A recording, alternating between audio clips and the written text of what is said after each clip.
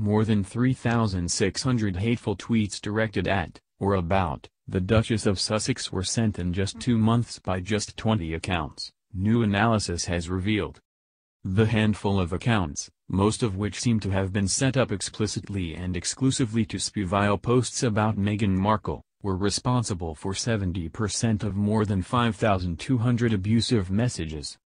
The research, by campaign group Hope Not Hate and CNN, examined tweets in January and February featuring anti-Meghan hashtags including hashtag Megxit, hashtag Bumpgate, and hashtag MMTCD, believed to mean Meghan Markle, the charlatan duchess. Some posts contain barely concealed, or even barefaced, racism, with references to bananas or instructions to the Duchess to go home.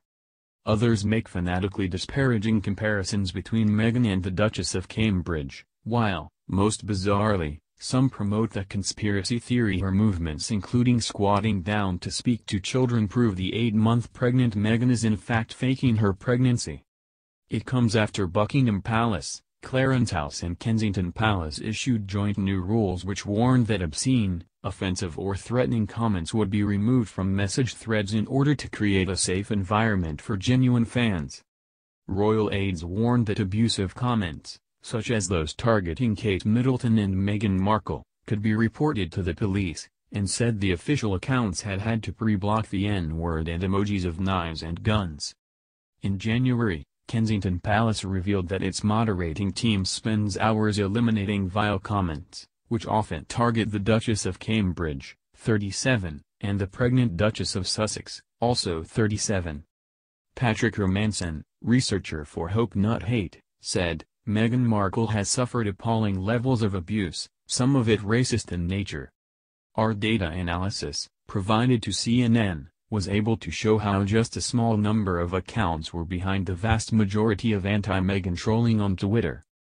This mirrors other research we've done, for example analyzing anti-Muslim abuse online, where similar messages are often shared, coordinated and amplified by key accounts, as well as bots. Conspiracies often mingle with outright hatred, part of a wider and more disturbing trend for hatred to migrate online, and which social media companies must still do far more to tackle given the rising tide of hate crimes and incidents. The fact that such a small number of users generated such a large number of the tweets suggests that the accounts were created for the purpose of producing negative content about the Duchess, Hope Not Hate said. Some of the accounts also shared links to far-right websites and social media pundits, and many used racial epithets to describe Meghan. But the researchers did not find evidence that the accounts are part of an organized far-right campaign. CNN reported that after Twitter were contacted some offending accounts had been taken down.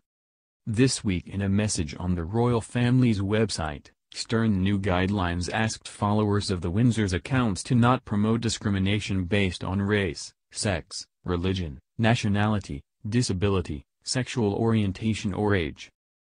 The aim of our social media channels is to create an environment where our community can engage safely in debate and is free to make comments, questions and suggestions, it said.